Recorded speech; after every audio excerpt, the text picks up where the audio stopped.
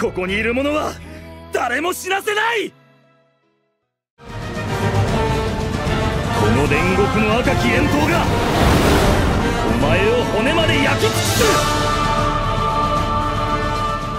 แอนิเมชันเรื่องนี้เนี่ยอาจจะเป็นเรื่องที่ฟอร์มยักษ์ที่สุดในหลาย ๆ เรื่องที่คนเฝ้ารอคอยในปี 2020 นี้ก็เป็นได้ครับ ผมเองก็เป็นหนึ่งในนั้น แฟน ๆ ของการ์ตูนเรื่องนี้ก็น่าจะเป็นแบบเดียวกัน ผมคิดว่าคงจะไม่มีอะไรมาหยุดความร้อนแรงนี้ได้จริงไหมครับ กับคิเมซุโนะยายบะ หรือว่าดาบพิฆาตอสูรเรื่องนี้เนี่ยที่โด่งดังเป็นผู้แตกจากกระแสทั้งมังงะแล้วก็แอนิเมชันขึ้นแท่นเป็นปรากฏการณ์แห่งปีของทางญี่ปุ่นไปแล้วครับเชื่อว่าหลาย ๆ คนก็น่าจะเคยเห็นข่าวกันมาเยอะแล้ว วันนี้เนี่ยผมจะขอรีวิว The Movie ที่กำลังจะฉายในโรงแบบน้ำๆเนื้อๆเลยก็แล้วกันครับเดี๋ยวที่จะตอบประเด็นต่างๆ ที่หลายคนน่าจะสงสัย เริ่มจากที่ตัวเนื้อเรื่องกันก่อนเลย ดาบพิฆาตอสูรรถไฟแห่งฝันนี้นะครับ แม้จะบอกว่าเป็น The Movie แต่ว่ามันก็ไม่ได้เป็นภาคแยกแต่ประการใดนะครับ มันถูกสร้างต่อจากภาคจบในตอนที่ 26 ของฉบับแอนิเมชันในซีรีส์พอดีพอดีครับ เอาจริงๆ จะเรียกมันว่า The Movie เนี่ยก็ไม่ค่อยถูกสักเท่าไหร่ น่าจะเรียกว่าภาค 1.5 มากกว่าครับ ถ้าไม่เคยดูแอนิเมชันมาก่อน หรือไม่เคยอ่านหนังสือมาก่อน ก็จะไม่สามารถดู The Movie นี้ได้เลยครับ ตัวเรื่องเนี่ยไม่ได้ย้อนความใดๆทั้งสิ้น ไม่เลยแม้แต่นิดเดียว ขอย้ำอีกครั้งหนึ่งนะครับ ถ้าคุณจะดู The Movie เรื่องนี้ คุณต้องดูฉบับแอนิเมชันทั้ง 26 ตอนมาก่อน หรืออย่างน้อยก็ต้องอ่านมังงะจนจบเล่มที่ 6 แล้วครับ ส่วนใครที่อยากจะเตรียมตัวก่อนไปดูวันนี้ผมแนะนำเป็นฉบับแอนิเมชันนะครับทำไว้ค่อนข้างดีเลยทีเดียว และในส่วนเรื่องย่อของ The Movie นี้นะครับทันจิโร่และผองเพื่อน จะต้องขึ้นรถไฟสายกลางคืน เพื่อตามไปสมทบกับเสาหลักเพลิงอย่างเลงโงคุเคียวจิโร่ในภารกิจของหน่วยพิฆาตอสูรรถไฟขบวนนี้มีบางอย่างที่ผิดปกติ มีผู้โดยสารหลายคนนั้นหายตัวไป แม้หน่วยจะพยายามส่งนักดาบตามสืบมาแล้วก็ตาม แต่ก็หายตัวไปอย่างลึกลับร้อนไปถึงระดับเสาหลักต้องมาจัดการด้วยตัวเอง บุรุษแห่งเพลิงและพวกทันจิโร่จะสามารถฝ่าฟันอุปสรรคนี้ไปได้หรือไม่ ติดตามต่อได้ในดาบพิฆาตอสูรรถไฟแห่งฝันนิรันดร์ครับสิ่งแรกที่ผมอยากจะบอกเลยก็คือสำหรับคนที่ดูเฉพาะฉบับแอนิเมชันมาก่อนเนี่ย รู้ให้น้อยที่สุดคือดีที่สุดครับ อย่าปล่อยให้ตัวเองนั้นโดน spoil โดยเด็ดขาด จนกว่าจะถึงช่วงเวลาที่จะได้รับชมจริง เอาตรงๆแล้ว ตัวอย่างเนี่ยไม่ต้องดูเลยยิ่งดีครับ เพราะว่ามัน spoil แบบสุดๆ คือทุกท่านเนี่ยสามารถหลบไปจนกว่าจะถึงเวลานะครับ แต่ถ้าเกิดว่าใครเนี่ยอ่านมังงะมาแล้วเหมือนผมก็สามารถดู trailer ได้แบบสบายๆครับพูดถึงความรู้สึกหลังดูกันก่อน เอาแว็บแรกเลยนะครับ หลังจากที่ดูจบแล้ว ตอนที่เครดิตขึ้นเนี่ย มันสุดยอดมากๆครับ ตลอดทั้งเรื่องตั้งแต่วินาทีแรกจนถึงวินาทีสุดท้าย ความรู้สึกต่างๆ มันอัดแน่นเต็มไปหมด ทั้งตื้นตันฮึกเหิมแล้วก็แน่นอนครับ มันโคตรจะสนุกอีเวนต์รถไฟแห่งฝันนิรันนี้ครับน่าจะเป็นเหตุการณ์ที่ผมชอบที่สุดในเรื่องนี้เลยก็ว่าได้ ทั้งฉากต่อสู้หรือว่าตัวละครที่มีบทบาท เซนโงคุเนี่ยคือหนึ่งในเสาหลักที่ผมรักมากที่สุดครับ ชอบตั้งแต่แรกเห็นเลยก็ว่าได้ครับ และด้วยความที่นี่เนี่ยเป็นอีเวนต์สำหรับตัวละครนี้ด้วย ผมเนี่ยก็เลยคาดหวังมากเป็นพิเศษครับ ก่อนที่จะเข้าโรงเนี่ยก็แอบสงสัยเหมือนกันว่า ฉบับหนังโรงเนี่ยจะสามารถถ่ายทอดมันออกมาได้ดีขนาดไหน ตัวเราก็เคยอ่านมังงะมาก่อนแล้ว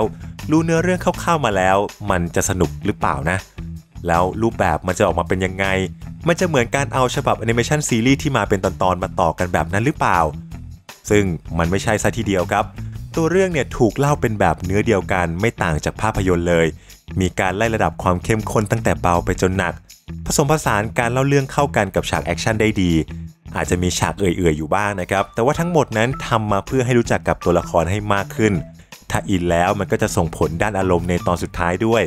มาพูดถึงงานด้านภาพกันก่อนเลยครับ ในแอนิเมชันเนี่ยที่ว่าสวยแล้วนะครับใน Netflix เนี่ยแต่ว่า The Movie นี้เป็นคนละเรื่องเลยครับ มันมีรายละเอียดสูงมากๆ ทั้งตัวละครสภาพแวดล้อม หรือแม้กระทั่งฉากหลังครับ แสงเงาต่างๆ เนี่ยเข้าขั้น perfect เมื่อนำทุกอย่างมารวมกับงานศิลป์ที่เป็นเอกลักษณ์เฉพาะตัวของดาบพิฆาตอสูรแล้วมันก็ยิ่งน่าดูชมครับ โดยเฉพาะฉากเวลาสู้กันเนี่ยนี่อาจจะเป็นหนึ่งในแอนิเมชันที่มีฉากต่อสู้ที่ดีที่สุดตั้งแต่ผมดูมาเลยก็ว่าได้ ทุกอย่างเนี่ยมันจัดหนักจัดเต็มแบบสุดๆครับ อัดแน่นไปด้วยฉากต่อสู้ตั้งแต่ต้นเรื่องจรดปลาย movement ต่างๆเนี่ยก็มีเยอะ เวลาเห็นตัวละครวาดลวดลายแบบเคลื่อนไหวจริง ๆ แล้ว มันตื่นตามากๆครับ ยิ่งแต่ละตัวในเรื่องเนี่ยก็มีวิชาและก็แนวทางที่แตกต่างกัน มันก็ยิ่งเพิ่มความตื่นเต้นมากขึ้นไปอีกครับ เท่านั้นยังไม่พอ ความยาวของฉากแอคชั่นเนี่ยทำออกมาได้ดีครับ มาเต็มๆยาวๆแบบจุใจไม่มีแบบสั้นๆครับแถมทำได้อย่างไม่น่าเบื่อ แม้ว่ามันจะยาวก็ตาม แล้วก็อีกจุดหนึ่งที่สำคัญมากๆสำหรับใครที่อ่านมังงะมาแล้วครับ จะขอบอกเลยนะครับว่าในแอนิเมชันเนี่ยมีการเพิ่มเติมรายละเอียดในฉากต่อสู้มากขึ้นเยอะเลยแหละครับ แต่ถ้าเกิดว่าจะบอกว่าฉากแอคชั่นคือสิ่งที่ดีสิ่งเดียวของหนังเรื่องนี้ก็คงจะผิดครับ อีกสิ่งหนึ่งที่จะไม่พูดไม่ได้เลยก็คือ การส่งต่ออารมณ์จากตัวละครสู่คนดูครับ ทางทีมงานเนี่ยดูเหมือนว่าเขาจะเข้าใจดีถึงสิ่งที่แฟนๆของดาบพิฆาตอสูรต้องการครับ เข้าใจถึงบท เข้าใจถึงตัวละคร พวกเขาเนี่ยได้นำวัตถุดิบที่ยอดเยี่ยมเหล่านี้ มาปรุงแต่งให้ดีที่สุดผ่านงานภาพแล้วก็ฉากต่อสู้ ขยี้ให้ถึงแก่นมากที่สุด ผ่านปมแล้วก็เหตุการณ์ต่างๆ และผลที่ได้ก็คือ ความสนุกแบบสุดๆในตอนที่เรานั่งดูนั่นแหละครับ แล้วก็จะได้รู้สึกร่วมกันไปกับตัวละครเหล่านั้นด้วย ทั้งความโกรธการดิ้นรนความตื้นตันใจต่างๆ ถือว่าทำออกมาได้อย่างยอดเยี่ยมมากจริง ๆ ครับ ผมเนี่ยขอสารภาพเลยนะครับว่าก็เสียน้ำตาไปประมาณ 2-3 ครั้งเลยเหมือนกัน ส่วนประเด็นเรื่องเสียงภาคที่หลาย ๆ คนสงสัยหรือว่ากังวลใจนะครับ ส่วนนี้ต้องขออภัยจริง ๆ ครับ ผมไม่สามารถตอบได้เลย เพราะว่าในรอบสื่อที่ผมได้ไปดูครับมันเป็นเสียงญี่ปุ่น ซึ่งก็ต้องบอกว่าภาคเอาไว้ได้ดีมากจริง ๆ โดยเฉพาะตอนจบครับ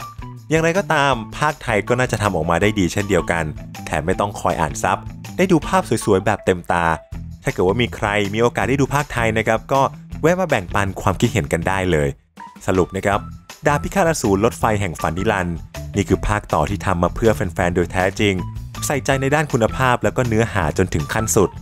มีการเพิ่มเติมขยายความส่วนที่ดีอยู่แล้ว ให้กลายเป็นสุดยอด ผมเนี่ยแอบอิจฉาคนที่ไม่เคยอ่านฉบับมังงะมาก่อนมากๆเลยครับ อิจฉาพวกเขาที่จะได้ดูเรื่องราวเดียวกัน แต่เล่าได้สุดยอดกว่าแบบนี้เป็นครั้งแรก มันก็คงจะรู้สึกดีกว่าตอนที่เราอ่านในมังงะมากจริง ๆ ครับ ยังไงก็ตามครับ ใครอ่านมาก่อนแล้วก็ไม่ต้องเสียใจไปนะครับ มันก็ยังสนุกอยู่เหมือนกัน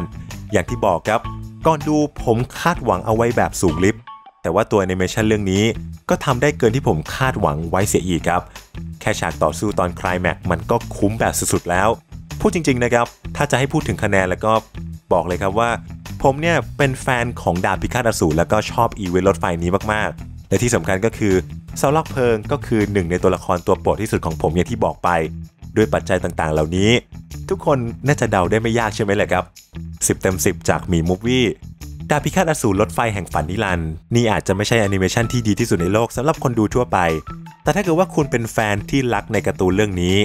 สิ่งนี้มันก็คือของขวัญชิ้นโตที่ดีที่สุดอย่างไม่ต้องสงสัยเลยแหละครับ